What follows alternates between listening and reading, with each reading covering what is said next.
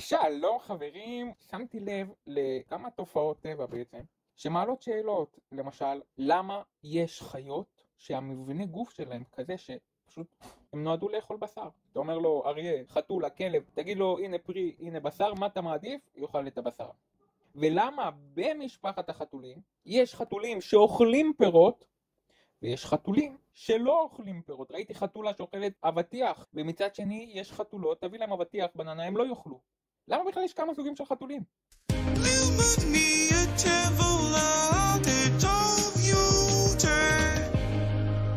וואו, תראו את הלשון הזאת, היא אוהבת חסה.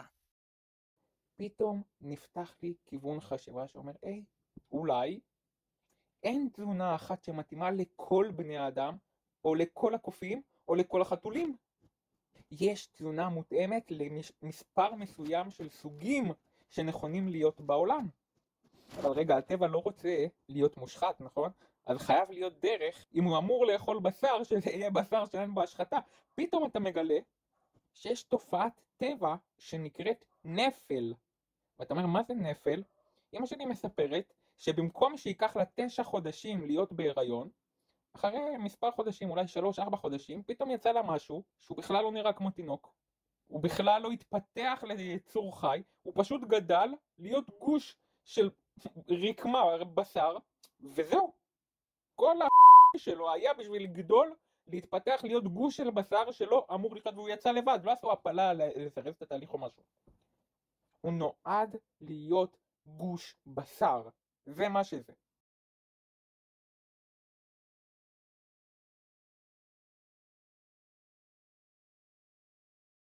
קולטים מה הולך פה?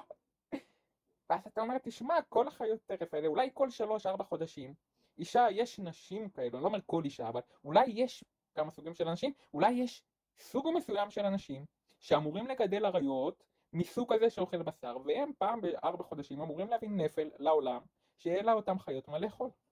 זה אפשרות אחת. אפשרות שנייה להגיד, אולי יש בני אדם, שאני הייתי מזועזע שראיתי את זה, אבל תשמע, הוא אומר לי, תן לי בשר, אני אוכל אותו ככה בלי לבשל. טעים לי, מה אתה עושה?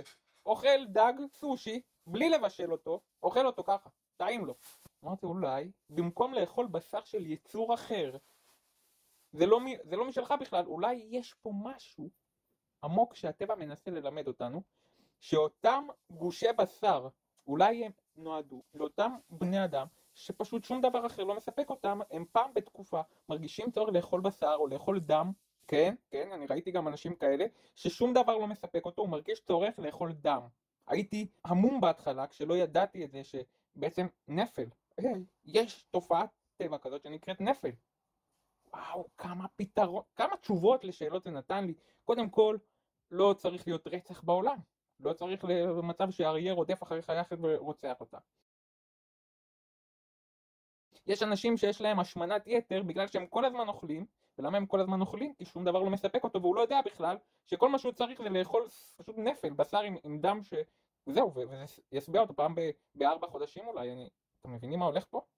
וואו, התגלית הזאת היא פשוט תגלית מהממת, רק לשים לב לפרטים ולראות איך חוקי הטבע משתלבים ביחד ופשוט מאוד משלימים אחד את השני, כי החוק העיקרי בטבע הוא לא להשחית כלום, לא להרוג כלום, לא לרצוח כלום, אז איך יהיה תשובה לכל הדברים האלו והכל מסתדר? אחר כך אנחנו נשאל למה הטבע מראה לנו שיש פירות שנושרים מהעץ. יש פירות שהם לא נושרים מהעץ, כמו למשל דוריאן או ג'ק פרוט, אוקיי? זה פירות בגודל ענק, והוא מחובר לעץ, לא נופל. אחר כך יש רמה נוספת כמו תירס. תירס זה פרי שגדל, הוא, הוא מייצג זרעים, כולו מלא זרעים בפנים. והוא גדל על הקלח עצמו ויש לו קליפה שעוטפת אותו. ואז יש לך פרי שהוא כמו חסה. מה זה הפרי הזה? אתה לוקח ממנו ענף, לועס לועס, פולט את ה... מה שנשאר מהענף, מחזיר אותו לאדמה מעל השורש, מגיע גשם, הוא מחלחל אל השורש, וחוזר דרך החסה להיות ענף מחדש. זאת אומרת, הפרי עצמו מתחדש.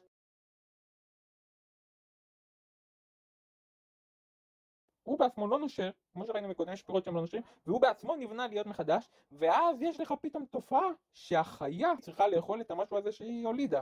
זאת אומרת שהטבע מראה לנו פה שיש פה כמה דרגות של צורות שצריך להבין למה הוא עשה את זה ומה הוא מנסה ללמד אותנו פה, אבל הצורת חשיבה הזאת פשוט הפעימה אותי.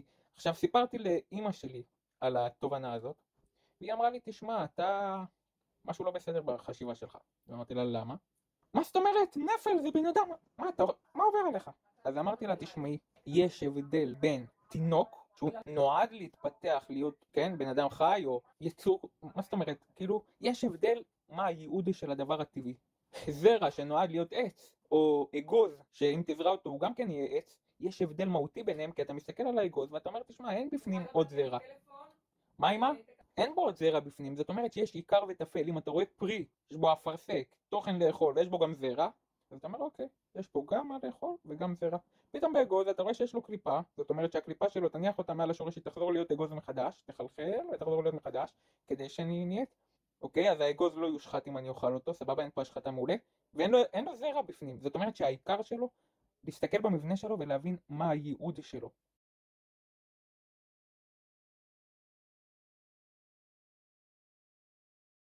זה מהותי. אז איפה היינו? כן, שאימא שלי אמרה שזה לא נשמע לה הגיוני. אז שתבינו, יש הבדל מהותי בין לקחת תינוק ולעשות הפלה לפני שהוא יתפתח להיות עובר, או לקחת זרע שאמור להיות תינוק ולמנוע ממנו להתפתח להיות עובר באמצעות כל מיני הפרד ומשול שעושים במעבדות ורצו לעשות כאילו בשר במעבדה. יש הבדל מהותי בין דבר כזה שנועד להיות באופן טבעי תינוק, לבין דבר שמראש נועד להיות גוש בשר. הוא לא נועד לחיות, להיות יצור חי. זאת אומרת שגם אם היו חושבים לעשות בשר במעבדה מאותם זרעונים וביציות של סוג מסוים, שיודעים לזהות אותו ויודעים להגיד, שמע, זה בכלל לא נועד להתפתח להיות תינוק, אולי עם זה היה פחות בעיה. הבעיה היחידה שזה לא קרה בדרך טבעית, כאילו לא בזיווג אמיתי וטבעי. אז אה, יש פה כמה צורות אכילה. אני בעצמי ראיתי בן אדם שאומר לי, תשמע, אני אוכל רק פירות כבר שש שנים, ואני אומר לו, איך? איך אתה מסוגל לאכול רק פירות והכל, ואתה מסופק? הוא אומר לי, כן, מספק אותי. אז הבנתי שיש כמה אנשים. אני למשל, איך שאתם רואים אותי, כמה שאני רוצה, ל... ניסיתי רק פירות, אני רוצה רק פירות, רק פירות, רק פירות, ופשוט מאוד אני אחר כך מרגיש בבטן, אוכל, אוכל, אוכל, אוכל, אוכל, אוכל, לא מרגיש מסופק מספיק. כן, זה מרגיע לי חלק מהדברים, אבל עדיין יש תחושה שלא עוזבת אותי, שמשהו חסר.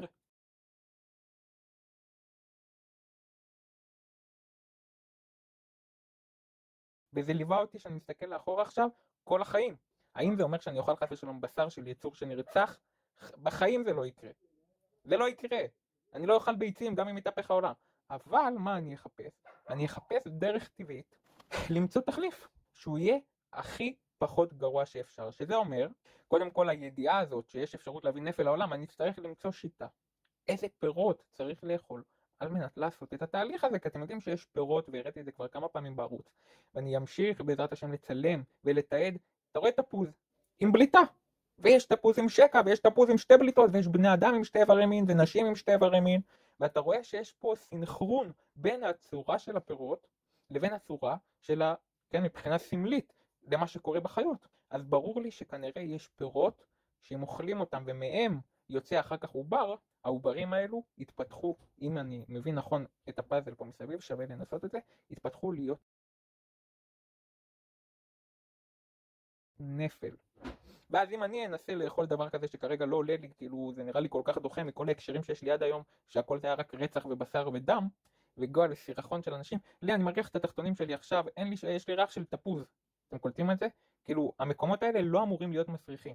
אז אם אני אמצא אישה שהיא תהיה בתזונה כזאת פירוטנית, שלא יהיה לה שם ריח מסריח, כמו שלי אין שם ריח מסריח אחרי כמה תקופה ארוכה שאני אוכל רק פירות, זה כבר לא יגיל אותי. ואז בנוסף, היא תהיה בראש של חשיבה טבעית והכל, אנחנו ננסה לבדוק מה עושים על מנת להביא נפל כזה לעולם. אם אני אנסה לאכול את זה, יכול עם כל ההקשרים שלי לי עד היום. אבל אם אני אנסה לאכול את זה וזה יספק אותי, בלי לבשל את זה, יש אנשים כאלה שאוכלים בשר וזה טעים להם. וזה בשר של רצח, אני רוצה משהו שאין בו מוות. אז אני אוכל לבדוק ויהיה לי תשובה ברורה, האם אני מאותו סוג של אנשים שנועדו, זה, זה אגב מעלה לי פה כאילו, עכשיו אני נזכר שראיתי באינטרנט על זוג, גבר ואישה, שמספרים מספרים שהם מוצצים את הדם אחד של השני. זה היה לי כל כך דוחה. ואמרתי, והם פשוט מרגישים צורך בזה. זה ממש מזכיר את התחום של הערפדים, שאומרים לך, תשמע, הם מרגישים צורך בדם. אז לי, ברוך השם, אין את הצורך הזה. מה זה ברוך השם? כל אחד והצרכים שלו, כן? אם מישהו צריך נפל, נפל. אני לא מרגיש דחף לאכול דם, אני מריח דם, זה לא מגרה אותי. או לאכול בשר כאילו, אולי זה בגלל כל ההקשרים שיש לי עד היום לגבי בשר ורצח, אבל אני, בהחלט, בהחלט, בהחלט ניסיתי לאכול קטניות אה, מושרות, ללא בישול, ואמרתי, תשמע, אה, שעועית מסוימת, כאילו זה סביל, אפשר לאכול את זה וזה סביל, 1, 2, 4, 6, זהו, 8, אבל לא כאילו תגיד וואו טעים מספק או משהו.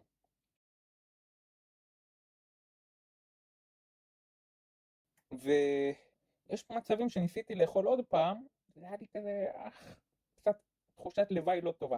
אז אני עדיין במחקרים אחרי העניין הזה, וזהו, זה סרטון של שנת 2023. אני כרגע אה, זמין, מה שמנטלית לא הייתי זמין עד עכשיו להצעות. אני לא, לא, כאילו לא הייתי פתוח לזה, אמרתי, אה, אני לא חושב שנכון להביא ילדים לעולם במצב שאנחנו נמצאים בו כיום, כאילו, יש פיצוץ אוכלוסין, אבל רגע, לא חשבתי על זה שיש מצב שנקרא נפל. נפל לא גורם לפיצוץ אוכלוסין. אז לזוגיות כזאת, אם יש אה, בחורה שיש לה חשיבה טבעית, והיא אומרת לי, וואו, אה, בחור מעניין, בוא נבדוק מה באותו ראש. אז אה, אני עכשיו דווקא כן פתוח ל... לכיוונים כאלו של זוגיות, וכמובן שיש אפשרות לערוך ביוטיוב את הסרטון, זאת אומרת שברגע שהקטע הזה כבר לא יהיה רלוונטי, אם כבר תהיה לי בחורה, אני יכול פשוט לחתוך את החלק הזה בסרטון. זאת אומרת שכל עוד שהחלק הזה מופיע בסרטון, זה הדברים עדיין רלוונטיים. וזהו, אני אשמח לשמוע תגובות שלכם בסר... בתחתית של הסרטון, ובואו נוביל לחברה שאין בה מוות, אין בה רצח, אין בה אכזריות, יש בה התחשבות, מקיימים את חוקי הטבע, וחיים חיים אה, מאושרים. יאללה ביי בינתיים. דרך חיים ללמוד מהטבע. בערוץ הזמני שלנו אנחנו עוסקים בכל מיני תחומים מעניינים. נציג כאן תופעות טבע מאלפות ונדבר כאן על ראיית עולם שמעניקה משמעות לחיים ותקווה לעתיד טוב יותר. נדבר על קבלה חושית, זוגיות, השקפת עולם, אלוהים, טבע, נפש, נשמה, עומק ושימת לב, מדריכים לחיים, ובינתיים גם טכנולוגיה מטורפת שנמצאת בשימוש כיום. למעשה נדבר כאן על כל מה שצריך לדעת בשביל ליצור עתיד טוב, משמעותי ומעניין יותר. אז אם גם אתם מעוניינים בתכנים מהסוג הזה, אתם מוזמנים להירשם לערוץ וללחוץ על הפעמון כדי לקבל עדכון על כל סרטון חדש שיעלה. דרך חיים ללמוד מהטבע, בעתיד טוב יותר. אה, ופתחנו ביוטיוב גם ערוץ בשפה האנגלית אם יותר נוח לכם.